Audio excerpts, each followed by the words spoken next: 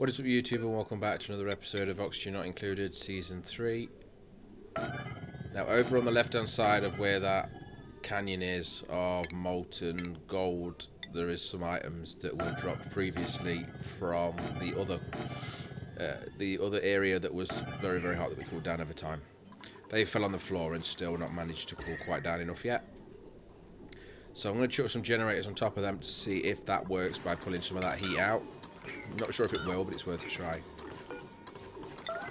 Over here, this is working so far. Nothing's breaking as yet. Again, the the temperature plates, more of those to try and spread that temperature out as quickly as possible. All I've done at the minute is created a rainbow, it seems.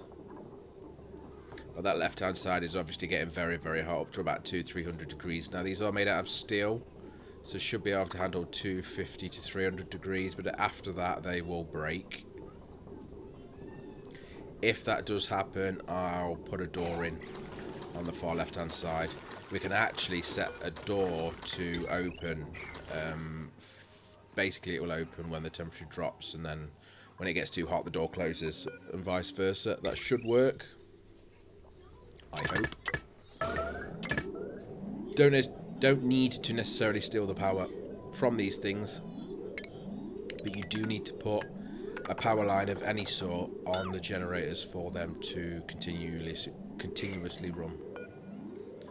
I'm actually clearing that whole area out over there, clearing out the piping and the power cable. We need to think of a way of getting all of that resource that was picked up into the base. But until I've got a better structure inside the base of where I want to store everything, I'm not going to bother. This one is just for the liquid fireballs, which means frozen, so they could just be dropped in that pool of warm water. You would expect that they would quite quickly start to defrost and the water would cool down, but it doesn't work that way for some reason. That, that solid object there doesn't lose its temperature as quick uh, as you would expect. These are running, as you see, they need a power cable on them in order to work. Now, they don't need the whole strip, that was just the ease of doing it. Literally one piece of power cable of any sort will work, which is what I'm doing now, just cleaning up that mess. So if you go onto the power cable, you either can click just where the plug is. As soon as you click on that plug, that will count it as connected, and it will continue to just pump. And yes, it is wasting the electricity, but for now, we want to... Um, there's no point putting resources in there, because I'm not going to drop it too much before I just open it up. As soon as the molten gold solidifies, that's likely when I will start actually opening up this abyssalite and letting the heat transfer out. Because there's a lot of area there you can see. There's a strange line there. You can see that line there, which is carbon dioxide. Strange patterns of how the gases are sitting. Very weird. I'm assuming over time that will fix itself. On the right hand side of that boundary you can see it's just full of carbon dioxide. I am going to put down more of the Atmo suits and make the right hand sides better and probably open it all up. So this is the quest to get the random scruffy guy with the beard and that. You have to firstly uh, knock on his door, then give him power for a specific amount of time, keeping his lights on uh, you have to increase the decoration or the decor level around his house and also provide him four fancy meals. Now I'm in the process of, I've already got the lights on as you can see. So I'm currently in the process of increasing the decor. Now it's pants because the heavy watt wire is negative 300. So what I actually need to do is move that out of the way and I'll do that shortly. But just to make sure we do get the decor value up, I have surrounded his house with golden statues. Wallpaper behind his house is diamond, and then the paintings above are also gold. So he's got gold statues, gold paintings, and diamond wallpaper in the hope that that will make him happy, which, it, I mean, it will. Just need to wait for them to be built, and that will increase the decor. Of course, even with all of that, the heavy watt wire going straight through his house will not work, so we need to move that up and over. Something like that should work. So literally up and over. The range of it's only about three blocks anyway, maybe four blocks. So his house that's right smack at the centre. will not be affected by that. And you can see that there, actually, it's glowing green. Uh, we have knock on the door done, improve the decor. So that's already ticked. I want to let the stuff finish, though, just so that it looks half done. Actually, that's the opposite to what I want. I want it to look completely done, not look half done. And at the minute, it is half done. So we'll let them finish putting in all of those items that I've got set to do. Also, the heavy wire that has been diverted up and over that's not finished yet is needed because that is powering things on that far left-hand side of the base, including a couple of transformers that are then powering other buildings that the that we can't get to from the main power supply. These bases, this base is so big, bigger than I've ever done before because of the lab map being so large. The spine on the right hand side, it's a bit awkward to, to use that. Maybe it could do with the spine on both sides. I'm not going to do that though. What I'm going to try and do is leave it as it is and then I'll put in transformers where I need them. Still though on the main power grid. Finally getting a pump inside the oil well production that's going to then completely rip out all of the natural gas you see here. That will then be sent somewhere else. I'm not sure yet where. Likely it'll just be stored. And I'll also try and link in the geysers from at the top of the map that we had a few episodes back actually, but I never used them because they didn't give off enough. So if we can start collecting all of this natural gas, I can use it for power, right? Oh, and the kitchen. The kitchen. There is a, a gas hob that you can do the top grade foods with. And you need natural gas to do that. So actually that is the priority, just getting the kitchen up and running with a proper cooker. The energy production from natural gas is extreme in terms of you need so much natural gas to keep the generators running I'm not sure it's going to be viable unless we have a decent amount of geysers, a lot more than what we've got. You probably need, I think we had in the last series, we had uh, three or four, and it was helping, but it obviously didn't keep the base running, so you likely, with this base being bigger as well, it's probably going to need five or six, and I don't even know if we've got that many on this map. We will do when we get around to actually uncovering the map, but in the meantime, I don't know what we're missing. With 60 tons plus of plastic in storage, I'm just going to go around now and get these transportation tubes to go to various different places all over the map on the left hand side only at the minute of course until we break that boundary in the centre um, and the idea here is that if somebody wants to get to well, the oil room, which is what I'm just setting up now, because they do still need to press the button to tell it to vent, uh, they'll be able to use the pipe to do so, and it will be a lot quicker for them. Getting back's not as quick because I don't have nowhere near enough of the gate things that you use to get into the transport tube. But putting them around is useful. So where these guys are working over here at the minute, I'm going to chuck one in there. There's one at the top as well. I can also put one inside of the, the, the yeah, the natural gas vent room thingy bob. I could move them actually and just put them with the oil wells. I think that should do for now. That is a lot of plastic to be delivered and a lot of construction that is required to get them done. This is getting a bit messy. So you can see it is starting to escape. There is some red getting out of that end. But also the Abyssalite itself has hit its limit and now is transferring that heat through as well. That can be fixed like that, as you've just seen. Uh, this can be fixed. Hopefully that's not going to work because that's above the ladder, so I need to move that one. But we'll get them built and they'll start eating that heat as well. These are plumbed into the grid, so the power these are generating, which is quite a lot, is not going to be wasted. That is looking a bit better. Obviously, the left-hand ones are working, but not making much of a difference. You've got to remember, though, that it does take time. The red is basically anything of about 70, 60 or 70 degrees, and then up to infinity, it seems. Um, so although it's red, it is still cool. It's definitely cooling down. If the pump, sorry, if the generator is running, then it is cooling down. That's all that matters. The pink gas you can see over there is phosphorus, I believe.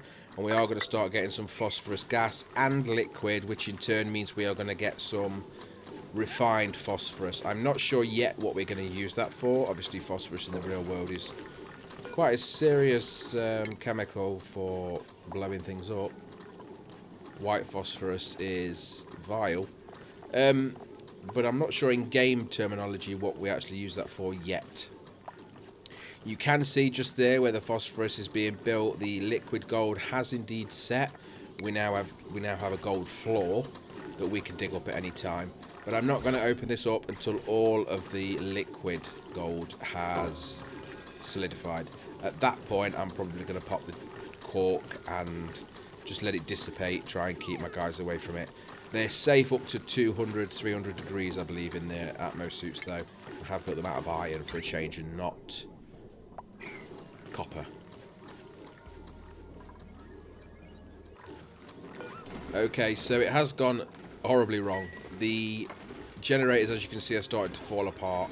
We are repairing them. They run for a little bit and break down again, but I am going to turn off the repair because they are wasting steel. We only have just over four tons, it looks like, of steel in storage, and I don't want to waste that. Keep fixing these with no end in sight. So Luckily, there's this biome right next to us. You can see that is the edge of the map there. So this is the last biome we've got up until the edge of the map, which is technically the bottom for us on this map. I'm going to try and do a calling loop that goes from this room into that biome. And we'll do two things here. We'll be cooling this area down, which is good, because that's what we want. Uh, but we'll also be warming up this cold biome, which we also want. Because cold biomes, unless you're going to use them for cooling, aren't really much use for anything. So we're going to have to get them in there. They're safe. They're in Atmo suits. It's going to take a bit of building, of course. Um, and this is the class as the right-hand side, so there's not as many Atmo suits available as yet. Over there, the right as well, you can see, we haven't dug it out yet, but that is the next stage for us. That is the zombie spore robots that you can you can make. So you provide, I think it's 50 kilos, or it might be 500 kilos actually, of steel Anyway, an amount of steel and a lot of zombie spores and you basically get a robot. Now these robots can do almost most of the tasks of your duplicants but they also have no fear and are not susceptible to dying in hostile environments so you can send them in hot, cold and space and use them for that. So we will get onto that very shortly. That was the aim I wanted to do from the very beginning. There's plenty of the zombie spore plants about but you also get zombie spore seeds free anyway in the room. There's a little locker. I think you get two. Yes, you get two. Anyway, so worst case scenario is you can have two zombie spores to use. You can plant them, but you have to plant them in uh, flower pots, whether it be hanging or the ground ones. You can't plant them in the farming plots. Same as always, you've seen it a thousand times by now, I'm sure. All I'm going to do is pump the negative 30 to 40 degree gases, which it looks like is carbon dioxide. That's going to go up there into that room. Then radiant pipes to disperse that heat or cold into that room. They'll, of course, take the heat will then join into that gas down the pipe and then it will get dumped on the opposite side of the cold biome. So it pumps up negative 30 to 40 degree gas and then in that vent over there to the left hand side will be exporting gases in the region of probably 2 to 300 degrees.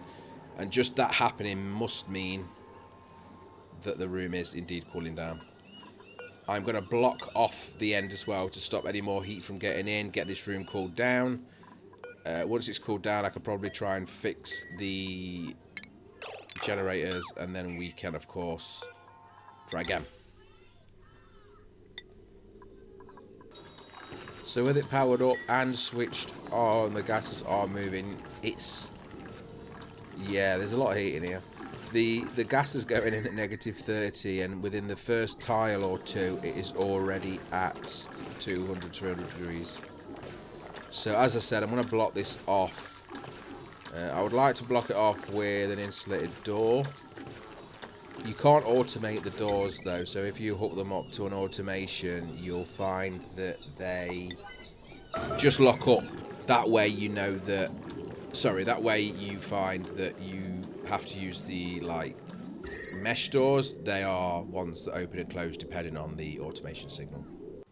Back to some more basic items though. We've, or I've been increasing the population and ignored the standard things. I know the bedrooms are okay, uh, but we must be getting close, so I need to check that. But bathroom-wise, we are not. The bathrooms only actually have five toilets and sinks per bathroom, and we have three. So that's 15 and 24 duplicants. So I'm going to chuck a few more bathrooms down. There are some bathrooms outside of the base as well, but that's only another six, I believe. So adding in there is another 10. Just overviewing actually you can see from here that that Shine Bug uh, ranch is doing really well for population. So clearly our new setup is working for the incubators. Yeah, so that door's now shut. That means that the temperature from the left-hand side to the right-hand side can't transfer over. And it, as, as such, the cooling that is in the right-hand side room is massively going to reduce. So that will work. It is working. It's going to take a while. Once it drops down another 50 degrees or so, I can get these up and running. Turning on the auto repair to allow them to be fixed should also aid in that. If I use a liquid, this process will be a lot quicker. But as you're already seeing, the gas temperature is fluctuating so much that using a liquid would instantly turn it into steam and break the pipes and everything would just go, yeah, it'd go right messy. I can't be bothered with that. So that's why I'm using the gas. It's cleaner, it's easier, but it is slower. Okay, so seeing as we're down in this area anyway, all I need to do is dig a simple passage over. We can open up all of these cupboards, inspect all of the, the machines that are in here, giving us some more data disks. And of course, data disks are quite important, as I've explained previously. They've already dug their way over here. Everything else that we don't need, I'll just dig out because they always make the rooms a bit messy. Now, looking at it, I wasn't sure how to do this. First thing you need to do is click on it and activate it. You can see on the left-hand side there is half a robot and there's a little animal thing looking in that test tube. It's quite simple practice that the large test tube on the left is where the robot is and that's where you put in your steel. The little guy that's hiding in the test tube full of pink liquid under that blanket is where you pump in your zombie spores. Now, I'm not sure if there's a better way of doing it, but I guess there is only an intake for gases. So what I'm going to try and do is just find a room, build a room with the zombie, the, the, the spore plants in, so that it fills the room with the zombie spores, and then that gas that's obviously filled with zombie spores, I will pump into the machine. That does work. I'm not sure if it's the quickest way of doing it, but it does work. So we can start clearing up in this room a little bit. On the machine itself, you can see it's flashing to say there are no zombie spores. And the little guy there in the glass test tube looks happy enough. He will grow over time the more spores you put in. And above him, you can see a progress bar that is the green bar vertically. Of course, it's showing at 50% at the minute, and at 100% you get your first bio bot. Now, you will need a doctor to do it, so when you get to 100%, the little guy in that test tube is finished with his legs and his eyeball. Uh, it then gets sucked up by the pipe above it into that other pink tube, and then that gets placed into the robot by a doctor with the maximum doctor skill. And there you have it. You have a robot. And then it just repeats again. So they'll come and get more steel or bring more steel. And then you have to put more zombie spores in. So I am going to clean out this area around here just to make it look a bit prettier. And on the right hand side of the ladder there, I am going to build a room specifically for growing the zombie spores. The chlorine that's in that cavern above, I'm going to use that to my advantage if I release that into the room where the zombie thing is, if any zombie spores escape. I'm not sure if they can cling onto the Atmo suits or not. I'm hoping not. Uh, but if they can, the chlorine will obviously wipe it out anyway, so it doesn't matter. I do have germicidal lamps installed, so I could use them as well to make sure that everybody is clean. But we are going to have to wait till the next episode to see the little guys, so the next episode will be around the bio bot. Thank you very much for watching. If you like the video, please click like. Any comments are welcome. As always, subscribe for more. Take care. Goodbye.